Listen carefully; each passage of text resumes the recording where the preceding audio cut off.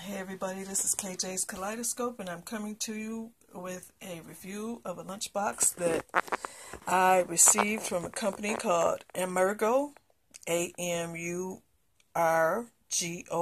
They reached out to me about three weeks ago and asked me if I would review one of their products and this is one I chose because I've been wanting a lunchbox which I hadn't bought yet so and I will be needing one in August for about three or four days. So normally when I would take my lunch to where I'm going, I would just take it in a plastic bag. So this looks like a little purse. It has a pocket.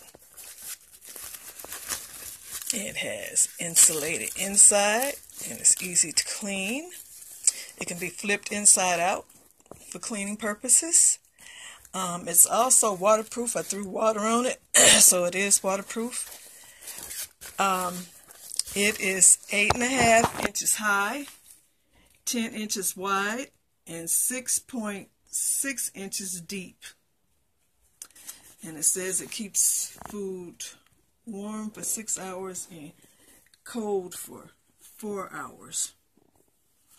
And so Although I haven't actually tried it at this moment, I am liking it much better than what I was using. And I will be um, truly using it in August for about four days. So this is my review on this lunch box. I think it's $11.99 on Amazon.com. And my thoughts on it is I like it. I think it's going to work out great. So I just want to share this with you. This is KJ's Kaleidoscope signing off. Hope everyone has a great day. See you in my next video. Talk to you later.